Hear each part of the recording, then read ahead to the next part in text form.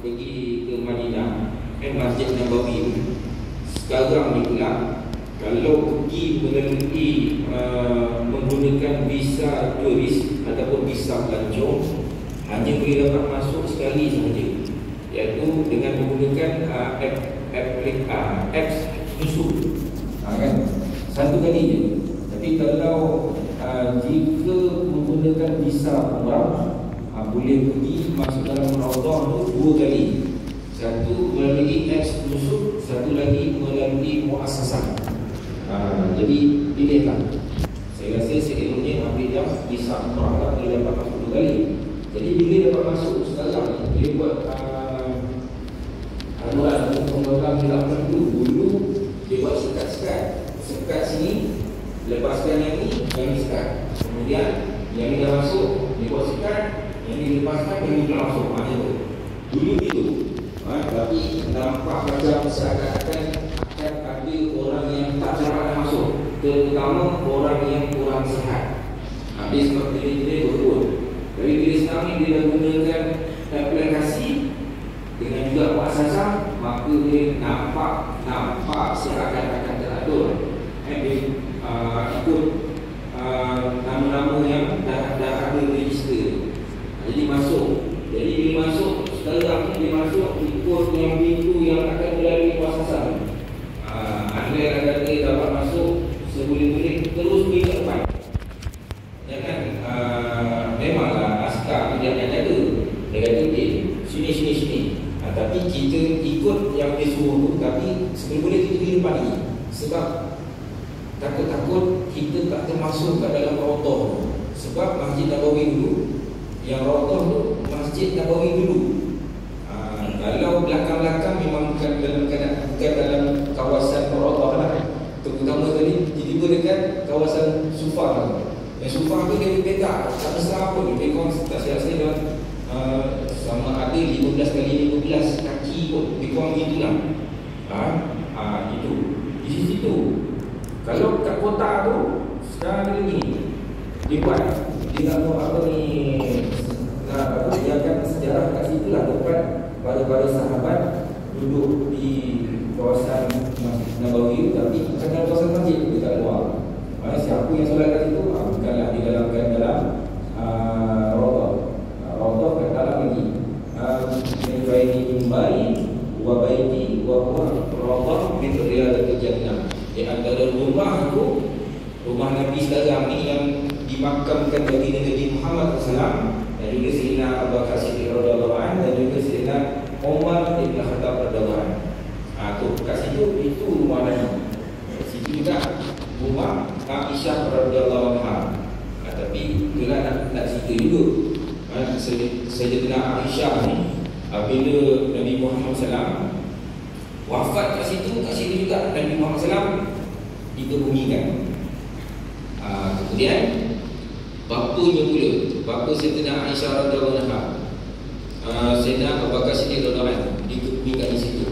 Dan juga aa, saya itu saya tujuan saya kata Sayyidina Aisyah ni dia masuk situ sewaktu aa, dimakamkan Nabi Muhammad SAW Sayyidina Aisyah masuk situ dia tak, dia tak tutup aurat.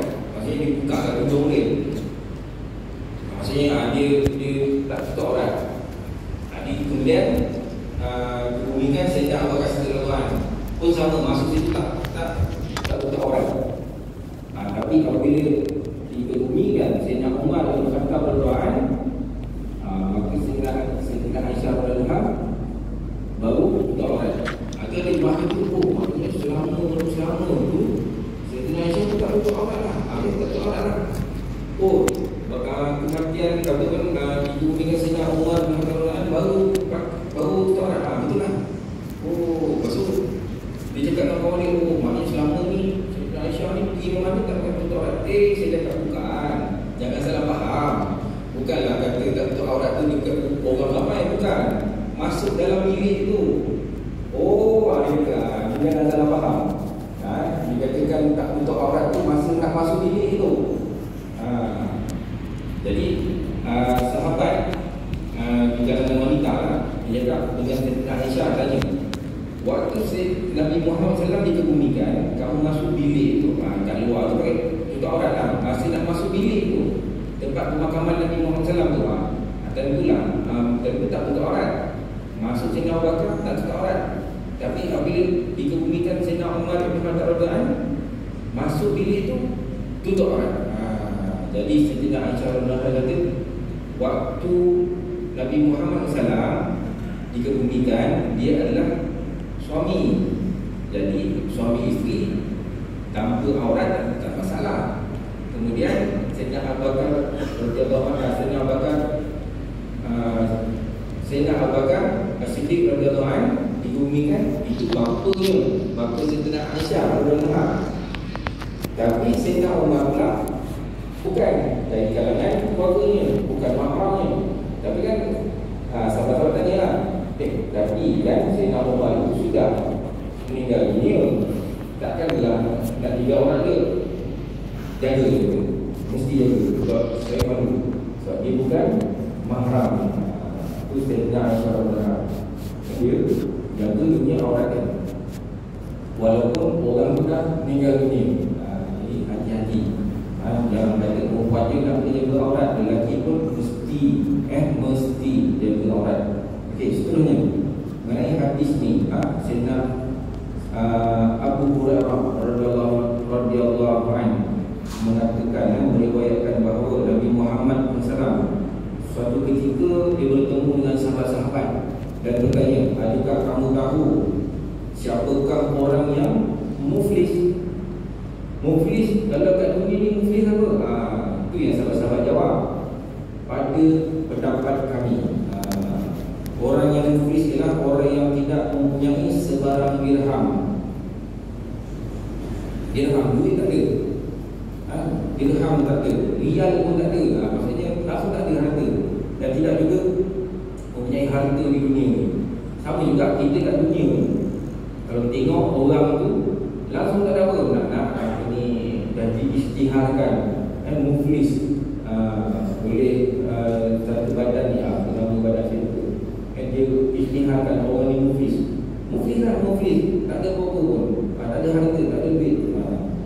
jadi Nabi Muhammad SAW bersabda orang yang muflis di akhirat nanti sesungguhnya adalah dari kalangan umatku eh, umat Nabi Muhammad SAW ni yang membawa yang datang membawa pada hari kiamat adalah solatnya puasanya zakatnya itu contoh yang tadi yang saya sebut dan kita semoga segala amal kebaikan segala amal kebajikan dan segala amal ibadat yang kita lakukan yang kita dah lakukan yang kita mohon Allah Ta'ala. Semoga Allah Ta'ala menerima kita punya amal ibadat semua ha? Ha, tapi kat sini Nabi Muhammad SAW bersabda umat pun nanti ni pada akhir pada hari akhirat nanti dia bawa dia punya solatnya puasanya zakatnya dan ibadat-ibadat lain yang telah diterima. Apakah yang tak terima langsung dengan jalik kan contoh kita buat dengan keadaan riak. Riak langsung tak dapat apa-apa. Buatlah ibadat apa pun. Kecuali kalau selawat kepada Nabi Muhammad SAW selawat pun je beza dia, dia punya pahala lain. Walaupun dalam keadaan tunjuk-tunjuk pahala tetap dapat. Jadi kebanyakanlah selawat pada junjungan besar Nabi Muhammad SAW Yang terutama hari ini Jumaat. Ha, kan? Dalam bulan Ramadan pula. Eh, Ramadan yang penuh keberkatan. Ha, Baik insyaAllah. Jadi Nabi Muhammad SAW bersabda Dibawa segala amal ibadat itu Yang telah diterima Namun dia telah mencaci seseorang Dia telah memfitnah seseorang. Dan telah makan harta seseorang. Telah menumpahkan darah seseorang dan telah memukul seseorang. Maka sebahagian jadi orang-orang ni umat ni dibawa pahala-pahala dia kemudian dia mencaci orang. Dekat akhirat nanti orang yang dicaci tu orang yang dicaci dia akan tuntut hak dia. Ha, berapa banyak yang dicaci contohlah dia caci selama 10 perkataan. Ha, jadi dia akan ambil pahala orang yang buat amal ibadat tadi Puasa, solat, zakat tu. Ibadat-ibadat yang lain Dia berzikir lah apa semua. Orang yang dicaci tu dia akan ambil Pahala orang ni. Yang dicaci. Kemudian orang yang difitnah. Orang yang difitnah pun okay. Contoh dia fitnah uh, Apa yang difitnah? Satu perkara Dia kata ah, orang ni mencuri Padahal dia tak curi Dia fitnah orang tu orang mencuri Kemudian beberapa hari orang mencuri ah, dia, dia fitnah? Dia, dia, jumpa orang cakap Eh ni orang ni mencuri ni. Besok jumpa lagi cakap orang lagi Dia mencuri ni. Beberapa hari Beberapa kali dia fitnah orang tu Orang yang difitnah tu ha, kan? Contoh pun sama juga. Ada orang Kita ni Kita tak dengki apa-apa pun. Kita tak cakap pun kita nak dengki apa-apa Tapi orang tu fitnah kita. Dia kata kita dengki diri pula. Sedangkan undang-undang Ataupun kita dah sepakati dalam mesyuarat Ataupun kita dapat keputusan Kita dah bincang semua uh, Tarikh sekian-sekian kita akan buat begini-begini. Tarikh-tarikh sekian kita akan buat uh, Yang dah diputuskan. Ibu dah tahu orang yang kata kita ni lah Dengki dia Dia kata nanti kita jumpa di akhirat kelak. Oh dia fitnah. Maksudnya kat situ Nanti kita jumpa lah kat akhirat nanti. Kalau dia dengki Bukan kali ini Kalau dia fitnah begitu. Jadi nanti insyaAllah Tengok dekat akhirat nanti Orang yang difitnah ni Orang yang difitnah ni Dia akan ambil Pahala-pahala orang yang fitnah dia. Ha, dia kata orang yang dengki ke dia? Oh nama sembilan tadi. Ha, ha, Tengok berapa banyak. Ha, Dia akan ambil berapa banyak. Kalau orang tu setiap kali dia jumpa kawan-kawan dia kata Wah ni lah. Orang ni lah dia dengki seperti saya tu. Ha, Dia tak bagi saya buat begini ha, Tengok setiap kali dia cakap tu Itu fitnah. Setiap kali dia cakap tu fitnah. Ha, Maka hati-hati. Ha, Hati-hati. Kat situ dia Orang yang difitnah akan ambil Pahala orang yang menfitnah Ada tinggal sikit. Kemudian Dia makan harta seseorang tanpa hak Tanpa hak dia main ambil je ha, Pun sama Berapa banyak yang dia makan Contoh Dia ambil uh, Orang punya Medi sebungkus ha, kan? Tuan-tuan Berapa medi tu tak berapa sangat harga dia ha, kan? Kalau beli berapa sen 45 sen Sebungkus Dulu lah. Sekarang tak, tak berapa ringgit lah kan? Sebungkus ha, Dia ambil masak makan. Sebab tahu je ah tuan-tuan hati-hati. Jadi darah daging pula. Ah dah akhirat nanti orang yang mempunyai makanan tu yang dia akan tuntut berapa banyak yang dimakan ah kemudian seterusnya orang yang merupakan darah seseorang tanpa hak pun sama orang yang kena ditumpahkan darah tu dia akan tuntut dia punya pahala-pahala orang yang beramal ibadat tadi. Oh nama tadi. Kemudian orang yang dipukul pun sama. Ha? akan ambil pahala orang-orang yang yang memukul.